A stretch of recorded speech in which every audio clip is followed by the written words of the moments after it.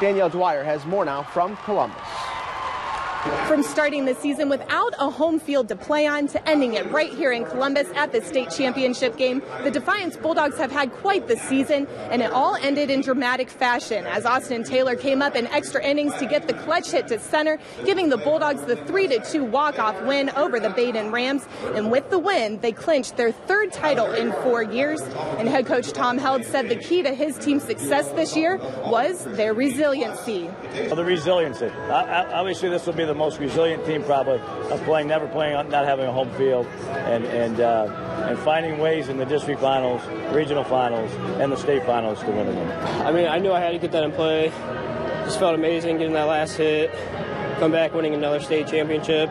It's unbelievable. I am truly blessed. Um, it's just a great feeling.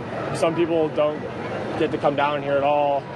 I got a chance to win it three times in four years. So that's really special, especially for this community. I mean, it was the most amazing four years of my life so far. The memories you make in high school and high school sports are just the best you'll make. Uh, you grow up with them, you play with them all your life. It's just really special to go out the right way and win it. While it's the end of a high school career for several Defiance seniors, they all agree that this will be a memory that they will remember a lifetime. Reporting at Huntington Park, Danielle Dwyer, WTOL 11.